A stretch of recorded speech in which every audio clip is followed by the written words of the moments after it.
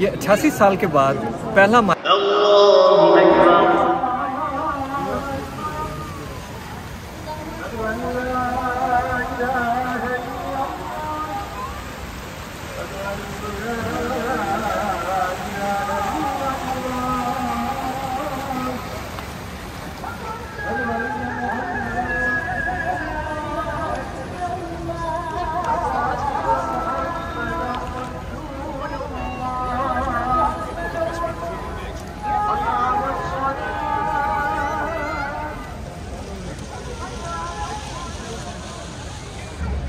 आज की इस वीडियो में मैं आपको दिखाने जा रहा हूँ हया सफ़िया के अंदर के मनाजर इसकी हिस्ट्री और जैसा कि मैंने लास्ट वीडियो में वादा किया था नमाज़ तरावीज़ तो वीडियो को आखिर तक देखें। चलो चलते हैं मस्जिद के अंदर और देखते हैं इसमें क्या है। इसकी स्पेलिंग और है? आया आया सोफिया टर्किश में जो है ना इसको आया सोफिया बोलते हैं। और वैसे आया सोफिया। और ये मुझे याद है कि जब पहले हम लोग यहाँ आए थे तो यहाँ पर इस जगह पर हमें दो घंटे लगे थे टिकट लेने के लिए। हाँ। लास्ट टाइम ना आया था लगा। हाँ। या। या ticket when it was a museum. Uh, now it is turned into masjid so now they can't charge. तो ये देखिए अभी तक। अच्छा इसमें ये चीज़ है कि इसके ऊपर के जो मीनार है ये आ, जो जब उन्होंने फतह किया था, चौदह सौ छप्पन के करीब सुल्तान महमद सेकंड ने किया था तो उस वक्त ये बाद में इस चर्च को फिर मस्जिद में कन्वर्ट किया गया। तो ये मीनार उस वक्त ऐड किए गए थे। चार मीनार हैं। दो इस तरफ़ हैं, दो दूसरी तरफ़ हैं।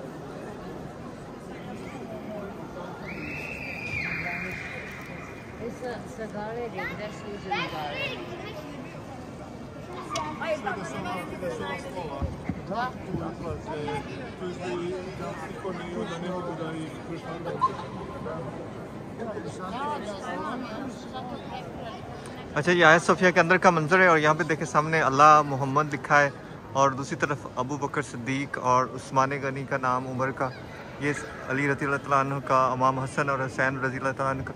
तो ये एक खिलाफत स्मानिया में ये सारे खुलफा राशदीन को और सबको मानने वाले थे। तो इसमें कोई अमेंडमेंट्स नहीं की। जब इन्होंने सुल्तान महमद ने या उस्मानिया खिलाफत की तरह इसमें कोई अमेंडमेंट्स नहीं एक्सेप्ट के उसके मीनार बनाए थे और ये उस पर लिखा गया था। कुछ यहाँ पे इमेजेस थे जैसे उनको उन्होंने कवर किया था पेंट से। बाकी इसमें आ, सारी चीज़ें वैसे की वैसी हैं। अगर आप ऊपर देखते हैं तो टॉप पे जो गैलरीज़ हैं यहाँ पे जब ये ज़ाहिर यूरोप का सब बेजेंटाइन टाइम का सबसे बड़ा ये चर्च था और उसमें जो मुख्तु लोग जो आते थे तो उसमें जेंडर के हिसाब से मेल फीमेल के हिसाब से सेक्शंस होते थे। तो जो गैलरीज में लोग अपनी वर्किंग क्लास के हिसाब से उनको वहाँ पे जगह दी जाती थी। तो ये चारों तरफ़ तो ये अपने वक्त की सबसे बड़ी बिल्डिंग थी दुनिया में। और आज भी इसमें कोई, वो जो इन्फोर्समेंट होती है आयरन की, उस तरह की नहीं है। सिर्फ़ एक, ये भी एक अपना शाहकार है कंस्ट्रक्शन का। तो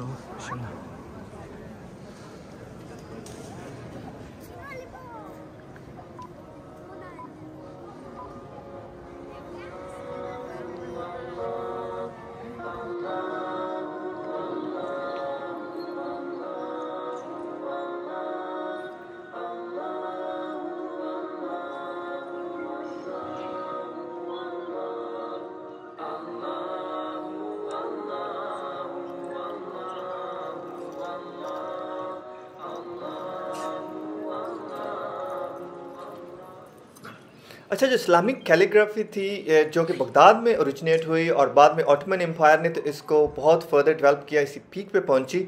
आ, इसी के साथ ही मैं आपको एक और हिस्सा भी और हाया सोफिया दिखाना चाहता हूँ जिसके बारे में बहुत सारे लोगों को नहीं पता। और ये हिस्सा एक five by five square metre का फ्लोर है।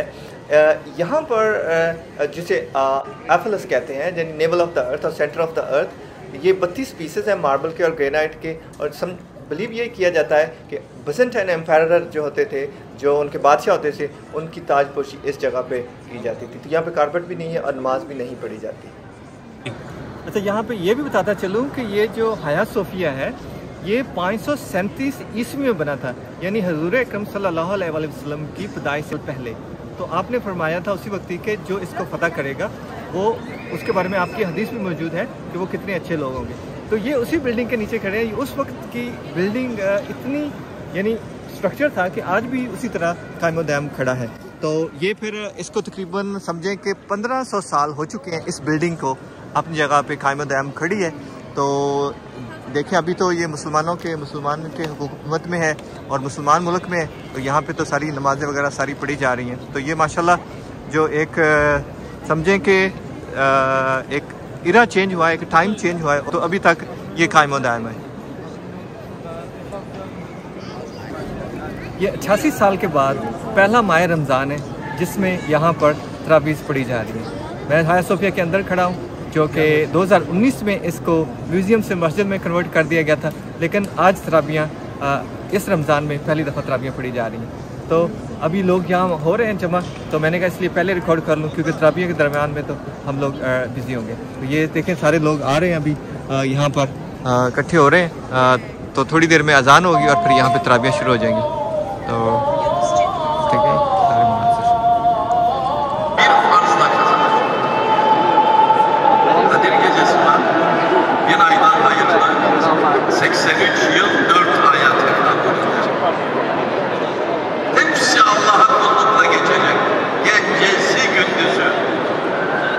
Kazandıkları Kadir gecesinde kazanacaklarından gene Ön saflardan itibaren başlayalım. Bundan sonra namaza başlayalım. Namaza durmak için acele etmeyelim. Özellikle cami